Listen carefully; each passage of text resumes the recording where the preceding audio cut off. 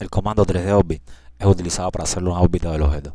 Para ello seleccionaremos con clic izquierdo el comando y rotaremos apretando el clic izquierdo la figura en el sentido que se quiera rotar. Para terminar la rotación damos escape y salimos del comando. Y como ven, la silla se ha rotado.